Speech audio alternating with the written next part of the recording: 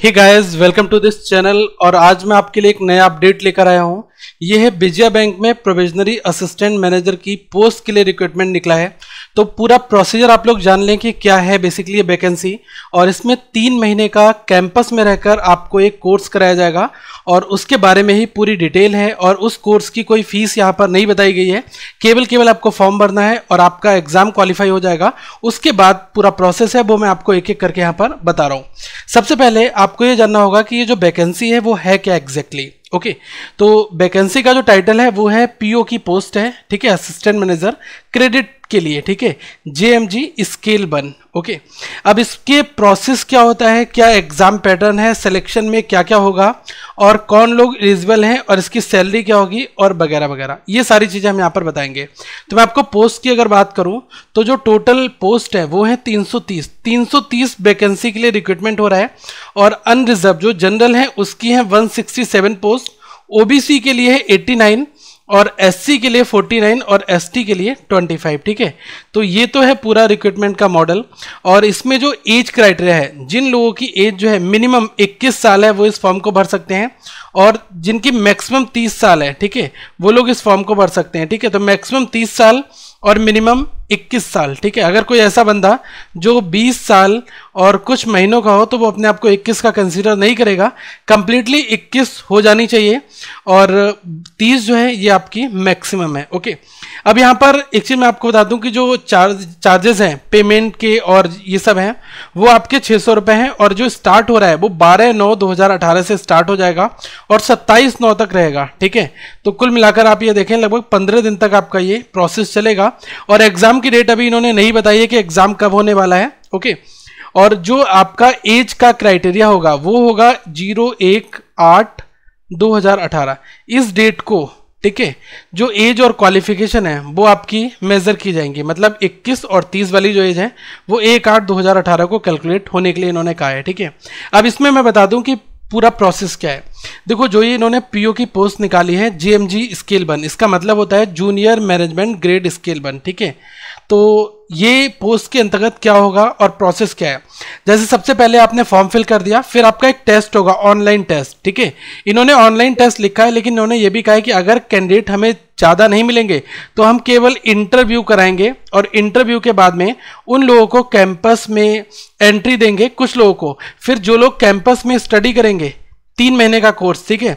उसके बाद में उनका एक टेस्ट होगा और उसमें जो लोग क्वालिफाई कर जाएँगे, उनका पीओ लेवल पर सिलेक्शन हो जाएगा। और ये जो कैंपस में तीन महीने की जो भी ट्रेनिंग कोर्स है, इसमें आपको पंद्रह हज़ार रुपये पर मंथ दिए भी जाएँगे। तो इन्होंने कहा है कि the course will be a duration of three month तीन महीने का एक कोर्स होगा, ध्यान से समझना।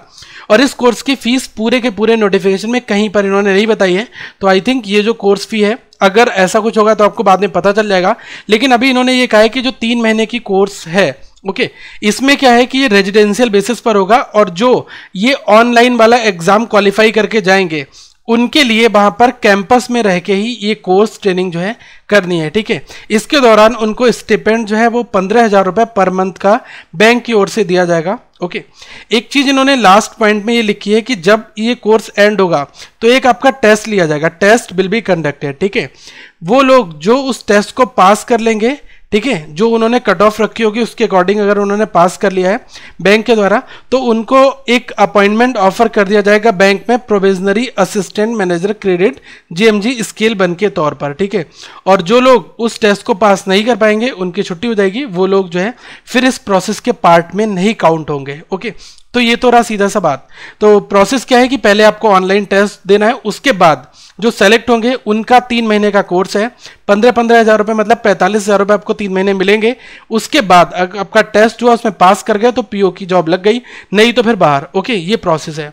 और मैं कहूँगा अपॉर्चुनिटी बहुत अच्छी अगर आप एक मेहनती स्टूडेंट्स हैं, आप तैयारी करना चाहते हैं तो www.vijayabank.com इस पर आप जाकर अप्लाई करेंगे। यही मोड है। ओके अब इसके बाद एलिजिबिलिटी क्राइटेरिया की अगर मैं बात करूँ तो इन्होंने कहा, ऐसे स्टूडेंट्स जिन्होंने ग्रेजुएशन क्वालिफाई कर लिया है।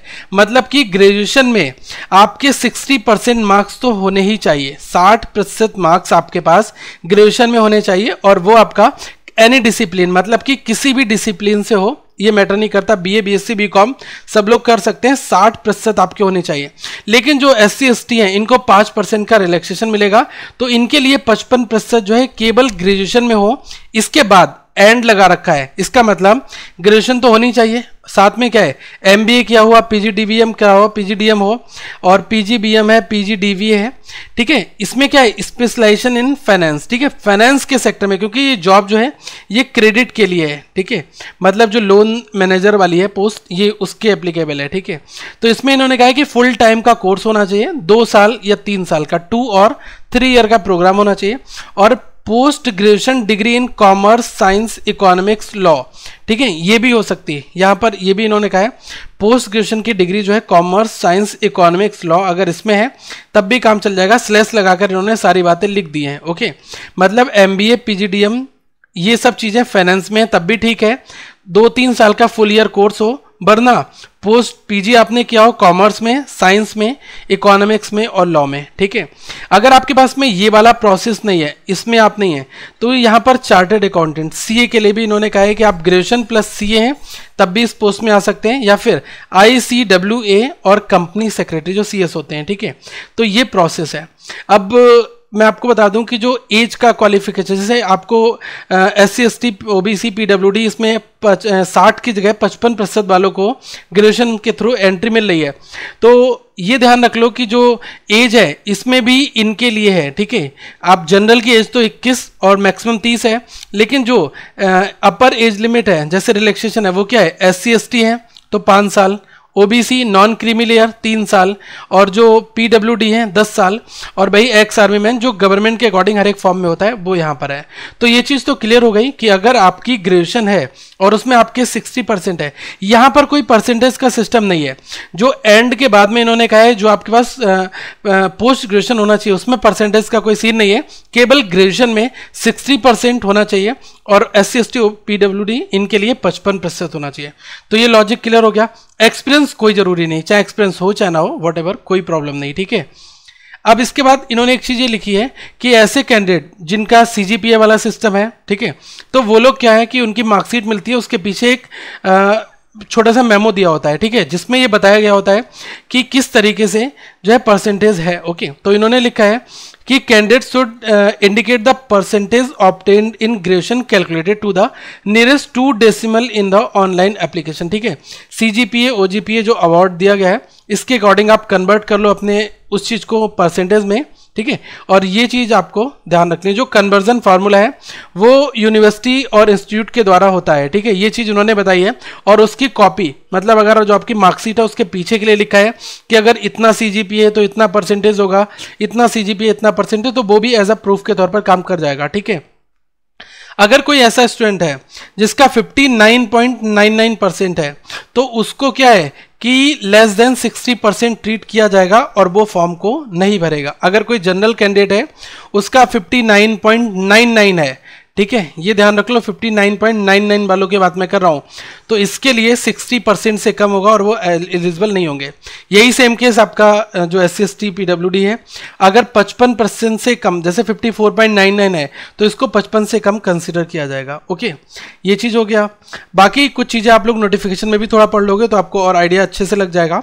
और जितनी भी, जो भी क्वालिफिकेशन है वो सब चीज़ें हैं। वो क्या लिखा है?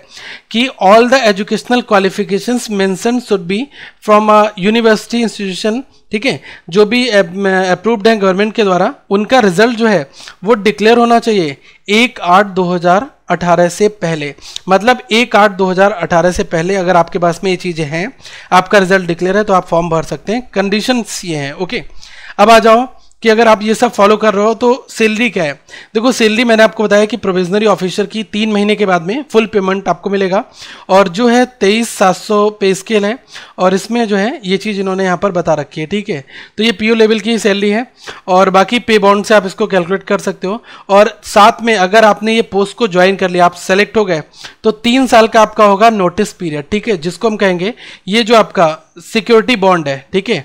तीन साल का आपका ये बॉन्ड है, नोटिस पीरियड तो नहीं, लेकिन इसको हम बॉन्ड कहेंगे, ठीक है? जो एग्रीमेंट होता है, तीन साल का बॉन्ड और एग्रीमेंट है, इसमें क्या होगा कि तीन लाख रुपए आपको पे करने होंगे अगर आप इस बॉन्ड को तोड़ते हो। मतलब आपका सिलेक्शन हो गया, आपने रिजाइन दे दिया तीन साल से पहले और आप किसी दूसरी जॉब में जा रहे हो, किसी डिफरेंट सेक्टर में तो आपको तीन लाख रुपए का पहले ये बॉन्ड फिल करना होगा इस पर्टिकुलर बैंक के लिए, उसके बाद ही आप ये फॉर्मेलिटीज को रिजाइन कर पाओगे, ठीक है?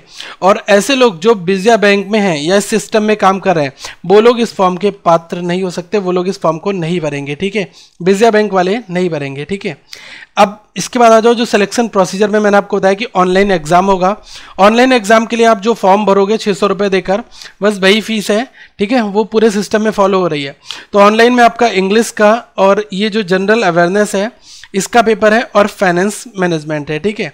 ये तीन चीज़ें केवल आपकी होंगी, कोई भी रीजनिंग क्वांट यहाँ पर नहीं होगा, English general awareness, banking industry से रिलेटेड और फाइनेंस आपका, ठीक है?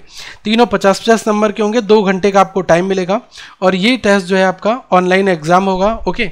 तो इसके लिए तैयार रहना, यहाँ पर लिखा है ऑनलाइन एग्जामिनेशन, इसका स्ट्रक्चर ये वन बाई फोर्थ मतलब zero point two five negative marking होगी, सही करोगे तो एक नंबर आपको मिलेगा और अगर आपने गलत किया तो zero point two five, one fourth आपका काटा जाएगा, ठीक है?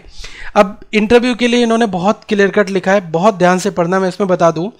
इसमें लिखा है कि मेरिट लिस्ट जो है, ऐसे कैंडिडेट जो कि ऑनलाइन एग्जामिनेशन को पास करके आएँगे, उनके बाद उनका क्या होगा? इंटरव्यू होगा। इंटरव्यू के लिए इन्होंने लिखा है कि obtained by them in online examination मतलब कि candidate based on the marks जो उनको नंबर मिलेंगे obtain by them in online examination और यहाँ पर इन्होंने बहुत ब्रेकेट में लिख रखा है marks obtained in general awareness with special reference to banking and finance management paper तो ये जो 50 50 नंबर के तीन पेपर हैं तो इंग्लिश वाले को नहीं, ये 50 50 के जो current affairs general awareness banking industry और फाइनेंस वाला, ये सौ नंबर वाले पेपर के हिसाब से आपकी मेरिट बनेगी।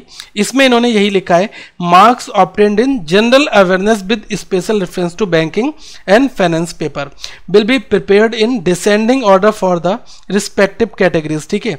इस तरीके से आपका ये प्रोसेस होगा और फिर आपको इंटरव्यू में बुलाया जाएगा और जिन लोगों का इंटरव्यू हो जाएगा, फिर वो तीन महीने वाला जो प्रोसेस है ठीक है, तीन थ्री मंथ वाला कैंपस में जो तीन महीने की स्टडी पढ़ाई ट्रेनिंग जो भी है, उसके बाद में आपकी फाइनल जॉब होगी, ठीक है।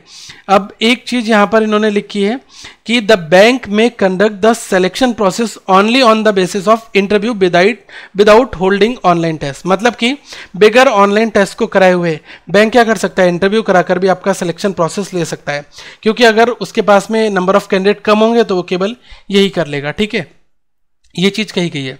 और एक चीज़ लास्ट में ये लिखा है the total number allotted for interview interview के लिए सौ नंबर होंगे। मिनिमम क्वालिफाइंग जो है जनरल और अनरिजर्व के लिए कितना है? फोर्टी परसेंट और S C S T P W D के लिए पैंतीस प्रतिशत है। ठीक है? ये क्राइटेरिया है।